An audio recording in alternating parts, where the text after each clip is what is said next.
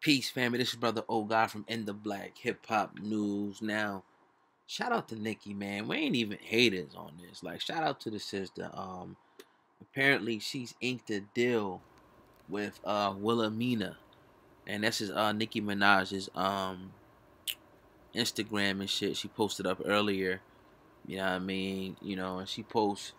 You know what I mean? Um, oh yeah, it's official uh, Nicki Minaj has officially signed um, with Wilhelmina. Uh, Nicki comes out and says, um, an official statement, I love the synergy between my um, music and how it inspires my fashion. The no frauds uh, rap queen tells Vogue. My message is always about celebrating our own style. I'm thrilled and honored to have signed with Wilhelmina. They get me. Uh, Minaj and Wilhelmina will work together to secure endorsement deals, fashion, and beauty campaigns as well as more editorial print opportunities. So shout out to Nicki for doing her thing on a business end. We definitely salute you again. You know what I mean? It is what it is. You gotta get your money, do your thing.